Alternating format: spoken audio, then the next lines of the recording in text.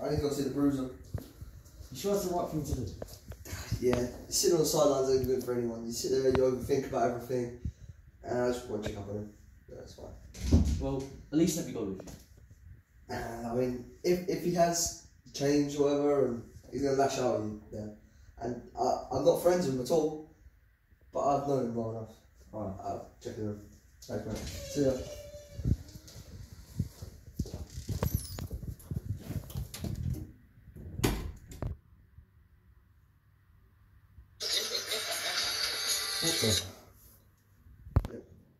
Oh! What was that bag? Oh, Barrett! Who did this? Oh. Oh, right. No, no. You don't know who did this? Not at all. Damn it.